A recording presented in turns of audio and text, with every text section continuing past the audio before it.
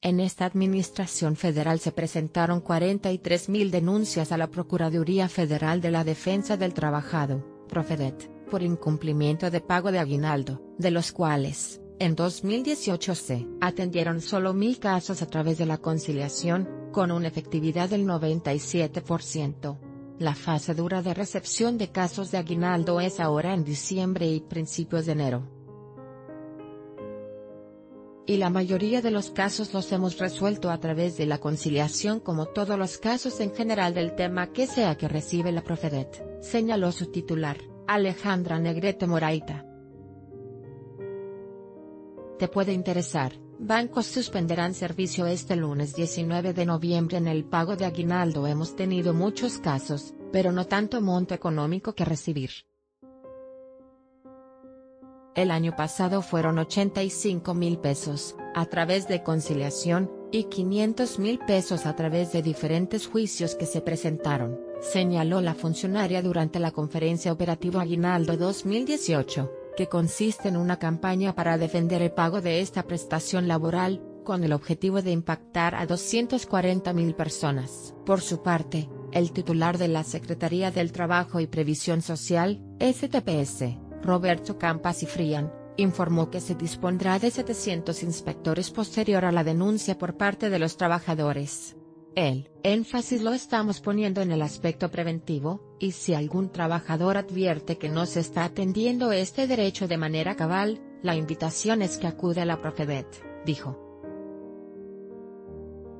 Te puede interesar, por presunto fraude, empresario mexicano demanda Coca-Cola a los servicios gratuitos de asesoría, y orientación con relación a la fecha o monto del aguinaldo es en la Profedet, a través de teléfonos 01, 800, 71, 72 942 y 01, 800, 91, 17 877 para toda la República Mexicana.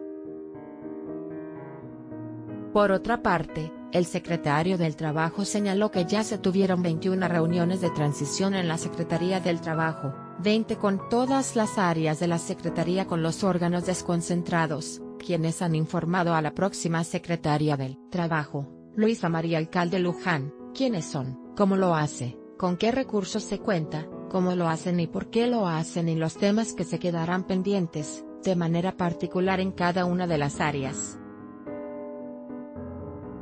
Algunas tareas que comienzan con la próxima administración como el asunto del aguinaldo, de salarios mínimos y la renovación de los representantes en las juntas.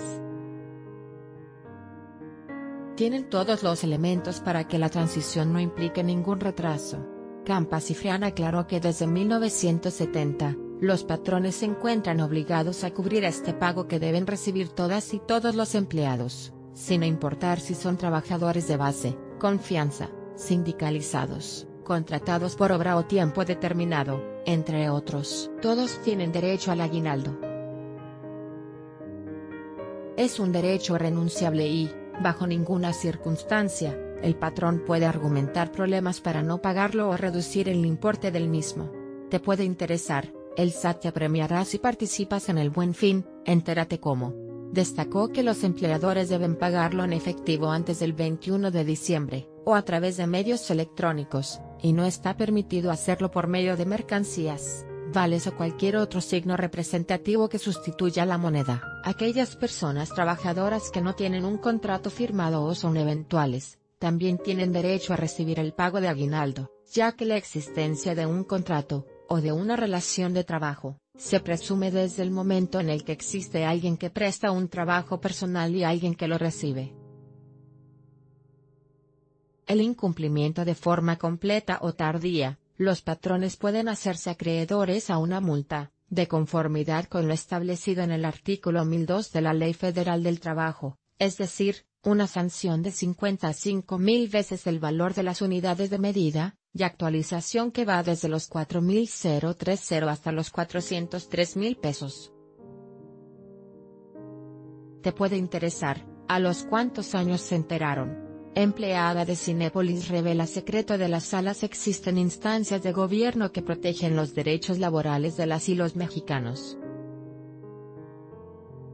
Para el caso en que no se pague el aguinaldo o se pague incompleto, o extemporáneo, las y los trabajadores pueden presentar su reclamo ante la Procuraduría Federal de la Defensa del Trabajo, cuentan con el plazo de un año, indicó Campa Cifrián.